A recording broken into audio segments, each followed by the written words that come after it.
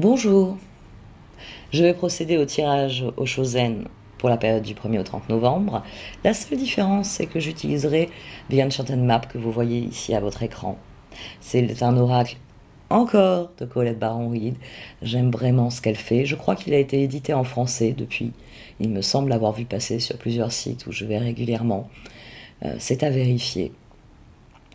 Je vous remercie euh, de tous vos messages, de tous vos commentaires. Je les lis, mais c'est vrai que j'ai manqué, je manque de temps. Et répondre à un commentaire et ignorer les autres, ça me pose un problème.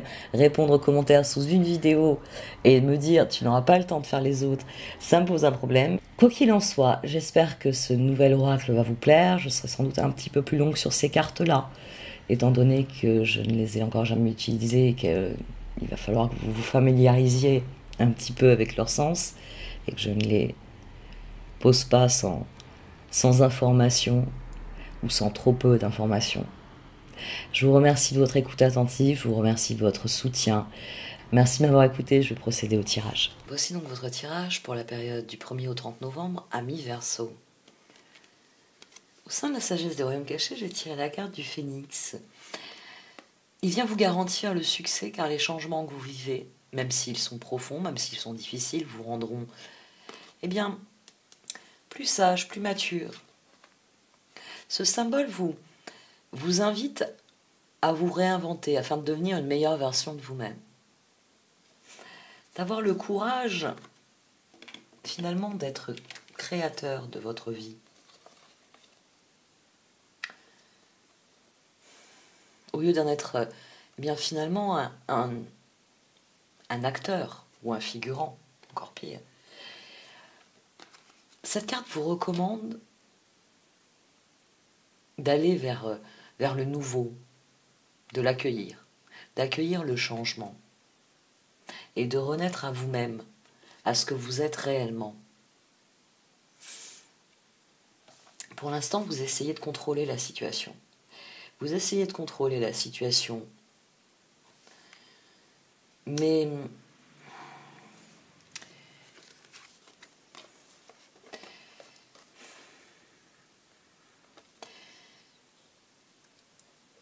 vous ne voulez pas lâcher prise sur quelque chose, vous ne voulez pas abandonner, y mettre fin, parce que vous voyez ça comme une... Il y a des projets communs avec d'autres personnes. Trois de pentacles, les associations, le deux de bâton. Mais vous n'en acceptez pas la fin. Vous voyez ça comme une trahison. Peut-être que c'est quelqu'un qui essaye de vous dire que c'est terminé. Et vous n'acceptez pas.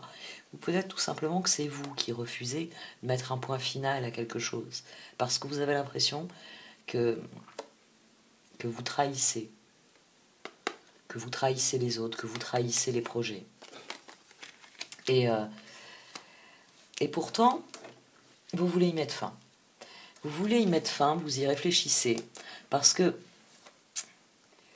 vous, vous pensez y mettre fin, mais les engagements, les, responsabilités, ce que vous étiez en train de créer, ça vous plaisait, ça vous plaisait réellement. Ça vous plaisait beaucoup. Et,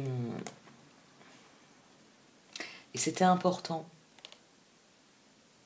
Le 9 vient en fil conducteur. Le 3, le 5 aussi. Mais vous vous sentez encore engagé vis-à-vis -vis des autres c'est la situation est en train de changer à vos yeux. Vous êtes en train de comprendre certaines choses, mais vous n'acceptez pas encore totalement la réalité. Vous ne voulez pas abandonner. Vous avez l'impression que ce serait trahir. Vous, vous avez mis beaucoup, le diable, le 8 de Pentacle, vous avez mis beaucoup d'énergie là-dedans. Vous, vous, vous êtes, euh, j'allais dire tu à la tâche, mais presque. Vous avez mis énormément euh, de vos ressources, de votre énergie dans cette situation pour qu'il y ait de l'harmonie, pour que les choses évoluent, pour qu'elles progressent. Et vous ne l'avez pas obtenu. C'est l'absence de résultat qui vous fait, qui vous fait penser qu'il est temps d'y mettre fin. Que nonobstant euh, ce, qui a, ce qui a démarré les choses, qui, ce qui a pu vous lier au départ, vous n'obtenez pas les résultats escomptés et, ça devient épuisant. Ça devient épuisant parce que à chaque fois que vous saisissez une opportunité, le 9 de bâton, le 7 de coupe, à chaque fois que, que de nouveau vous vous dites je vais, on va renouer avec le plaisir euh, dans les projets, dans, le, dans, dans l'association en elle-même, que vous vous dites ça y est, c'est reparti, on part à l'assaut de nos rêves, ça ne fonctionne pas. Ça ne fonctionne pas. Vous vous, efforcez de créer euh, euh, plus de positivité, plus d'opportunités, plus de, euh, plus de ressources même. Vous avez conscience que malgré toute l'énergie que vous mettez, toutes les ressources que vous mettez dans cette situation pour contrôler les choses, pour qu'elles se passent bien, vous êtes en train de comprendre. Le moment est venu euh, parce que vous ne récoltez pas un œuf de pentacle, un épanouissement. Vous commencez à comprendre que cette situation est de plus en plus difficile à tenir. Difficile à tenir parce que on a ici le 10 de bâton, la répression. Le 5 de bâton, la roue et la tempérance. La roue et la tempérance, ce sont deux cartes magnifiques, mais ici elles sont associées aux énergies de 5. Le, le diable et le 5 d'épée et à la répression. C'est-à-dire que tous vos efforts vont dans le sens de mieux, plus grand, plus beau, plus fort, on progresse, on fait les choses. Vous avez beau vous battre pour ça, ça ne fonctionne pas. Ça ne fonctionne pas pour une raison X ou Y. C'est pas la raison ici qui. Ça peut être quelqu'un d'autre. Ça peut être quelqu'un qui vous met des bâtons dans les roues. C'est possible. Mais surtout, pour vous, ce qui est important, c'est que la roue tourne en apportant plus d'équilibre. Ce que vous voulez, c'est ce 4 de bâton que vous n'arrivez pas à obtenir. Vous n'arrivez pas à, ce que ce qui était prévu se produise comme ça aurait dû se produire. Et vous concentrez toute votre énergie pour que les choses évoluent dans le bon sens. Mais il est temps de comprendre ce qui n'a jamais fonctionné ne fonctionnera pas mieux plus tard. Il est temps de comprendre que la cage est ouverte, que vous avez le pouvoir de, vous affranchir de cette situation. Parce que que ce soit une personne qui euh, travaille contre vous et vous êtes... Parce que ça peut être ça aussi. Euh, vous pouvez être dans une association qui vous plaisait. Parce qu'il y a ce de Pentacle, que je pense vraiment à l'association. Euh, vous pouvez être dans une association qui au départ était plaisante, euh, les engagements pris, euh, euh, le démarrage du projet, c'était foisonnant d'idées, c'était foisonnant de projets. Mais vous vous trouvez face à quelqu'un qui sabote les choses, de votre point de vue en tout cas, qui en permanence, à qui en permanence vous devez réexpliquer les choses. Parce que le 7 de bâton, il revient parler de ce 7 de coupe, il revient parler de ses étoiles. Donc ça peut être réellement quelqu'un qui s'oppose à vous ici et vous devez sans cesse discuter. Sans cesse euh, expliquer le pourquoi du comment les opportunités sont les meilleures, pourquoi il faut travailler dans le sens des rêves. Et c'est là que finalement vous vous retrouvez pris au piège, parce que vous devez sans cesse euh, ramener euh, quelqu'un sur la voie de l'équilibre, sur la voie que vous recherchez vous. Mais pour les cartes, il va falloir aller au-delà de cela. Il va falloir trancher et réellement mettre en œuvre ce que vous désirez.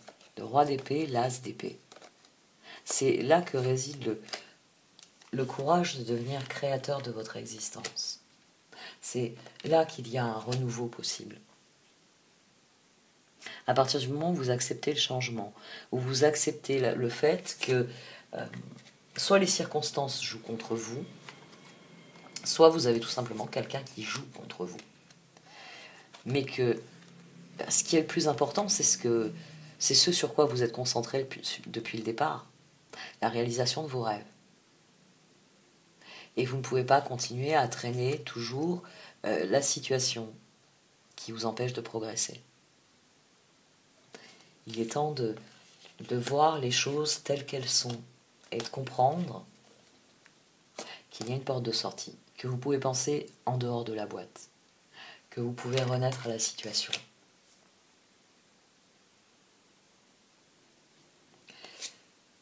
Et c'est pour ça que les cartes viennent vous parler de courage.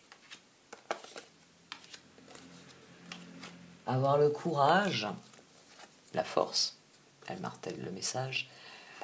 L'empereur, ah oui, le 10 de coupe et l'as de pentacle. J'avais oublié le 10 de coupe. Le courage de vous concentrer sur ce que vous sur ce que vous savez être bon pour vous. Parce que tempérance, c'est une chose formidable, rechercher l'équilibre de tempérance. Et elle est l'autre aspect du spectre, de l'axe, empereur, tempérance.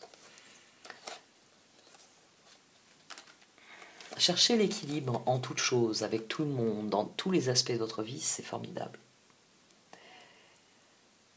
Mais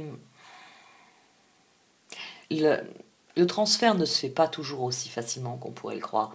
Tempérance a ce signe magique par de, euh, pardon. Elle magique que quand vous trouvez la sérénité en vous, celle-ci se diffuse autour de vous. Et c'est un peu la même chose pour l'empereur. Il a, conquis le droit d'être là parce qu'il a, il a pris des décisions allant dans le sens de l'intérêt supérieur, de l'intérêt suprême. Il n'est pas encore dans, dans l'engagement dans lequel peut être le pape, l'abnégation dans lequel peut être le personnage du pape, mais il a trouvé un équilibre en lui, un équilibre qui lui donne eh bien, la maturité, la compréhension et donc le contrôle de la situation. Le contrôle parce qu'il ne l'exerce pas, ce contrôle, parce qu'il comprend les choses et qu'il les laisse mûrir. Ce n'est pas parce que vous avez trouvé la sérénité en vous, ce n'est pas parce que vous savez que vos objectifs, que l'énergie que vous y mettez, que tout ça va aller dans le bon sens, vous arriverez forcément à convaincre quelqu'un d'autre.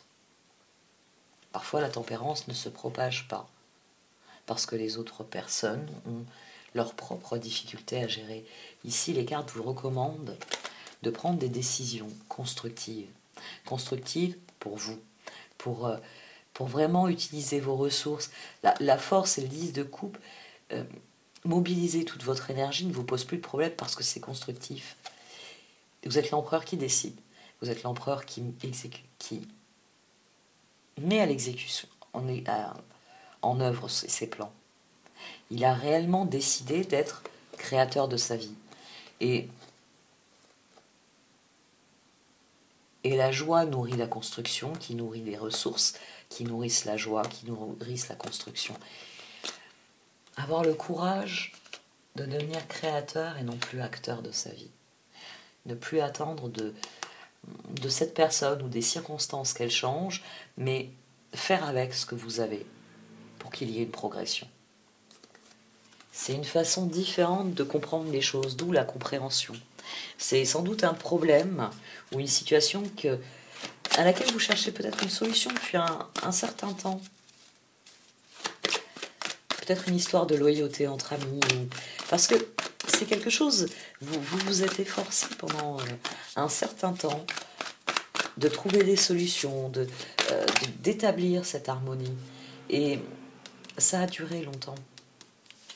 Ça a duré longtemps, mais c'est c'est maintenant que vous réalisez que c'est contre-productif.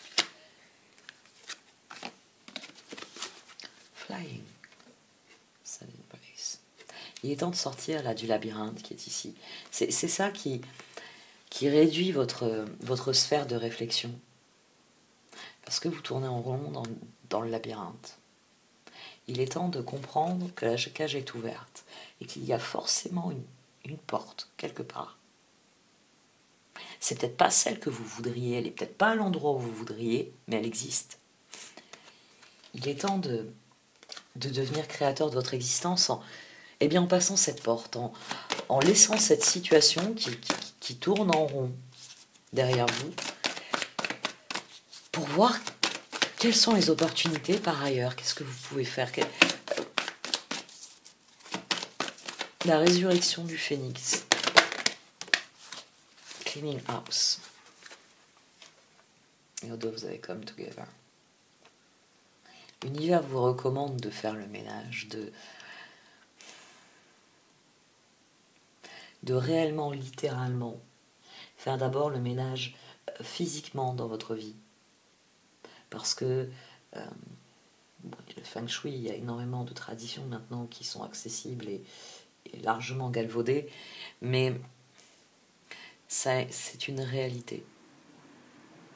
C'est une réalité. Le simple fait de faire un coup de propre, un coup de rangement, de mettre dehors tout ce qui ne va plus, eh bien ça participe finalement du travail de l'empereur. C'est comme ça qu'il qu'il trouve la sérénité. Il met de l'ordre. Il se concentre sur ce qui est essentiel. Il, euh, il s'efforce d'être constructif. Donc euh, tout ce qui l'encombre, tout ce qui entrave sa progression, il le laisse de côté pour avoir le courage d'être lui-même, d'exercer vraiment toutes ses forces, toute son énergie sur quelque chose qui est réellement constructif.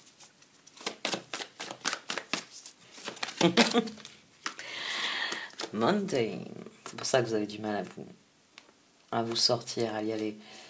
Parce que ça vous semble une montagne infranchissable. Mais cette carte vient souligner que souvent ce qu'on se, se, représente comme euh, un obstacle insurmontable, c'est quelque chose de, de simplement euh, nouveau, différent pour nous. Alors on a l'impression que c'est énorme, que c'est infaisable, mais si c'est sur notre chemin, c'est qu'il y a une bonne raison. Il suffit de faire le premier pas, de commencer à gravir la montagne, étape par étape, point par point. De toute façon, quand vous parviendrez au sommet, à l'étonnement, l'émerveillement, les possibilités s'ouvriront à vous parce que vous verrez, vous verrez tout ce qui se déroule devant vous, tout ce qui est possible. Vous acquérerez un nouveau point de vue, vous verrez réellement les opportunités, là où elles se trouvent. Mais parfois, eh bien, il faut prendre le temps de, passer à autre chose, de franchir les étapes nécessaires pour renouveler ses énergies, pour renouveler euh, son existence en elle-même. Hmm? Talisman et éducation. Palace. Il y a quelque chose à apprendre. C'est pour ça. Ça peut être une situation ancienne. Un vieux problème de loyauté, d'amitié. Parce que vous apprenez quelque chose de cette situation. Vous apprenez quelque chose qui, qui vous donne l'équilibre nécessaire pour progresser de nouveau. Et ce que vous apprenez affine vos compétences à tout niveau. Vous êtes en train de parfaire votre éducation. Et à terme, vous y gagnerez en sagesse, en équilibre. Et même ce que vous ne pouvez pas voir du chemin qui s'ouvre devant vos pieds ne vous préoccupera pas parce que vous aurez acquis la, la certitude que vous faites ce qu'il y a de mieux. C'est cela la compréhension. C'est cela la maturité. Voir les choses pour ce qu'elles sont et s'appuyer sur elles pour prendre un nouveau départ, pour progresser, pour que les choses s'améliorent. Bah, je crois que je le disais au début, au début. Devenir la meilleure version de vous-même.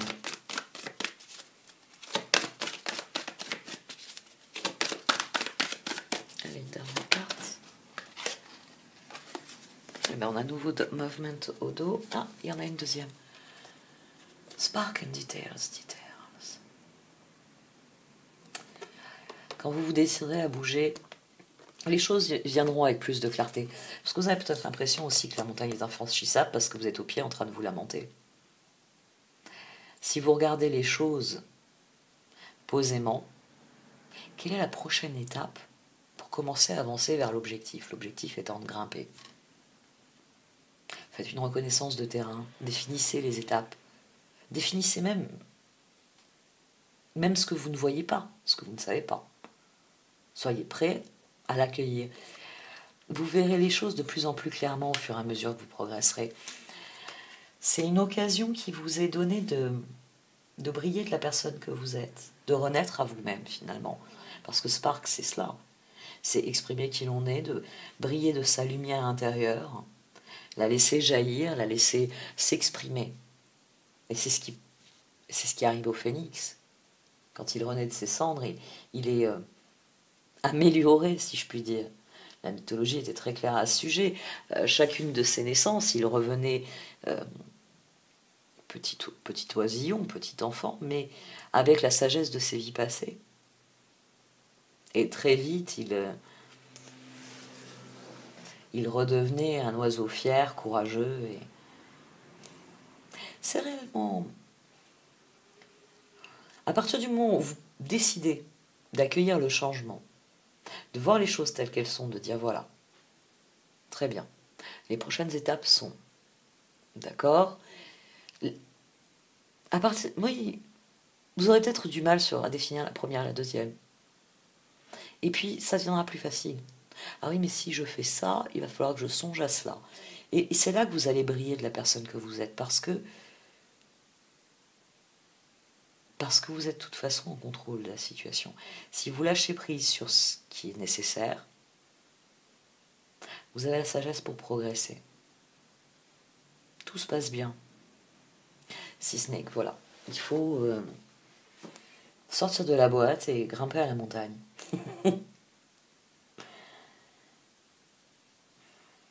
comprendre qu'il y a de réelles opportunités pour autre chose, quelque chose qui compte vraiment pour vous.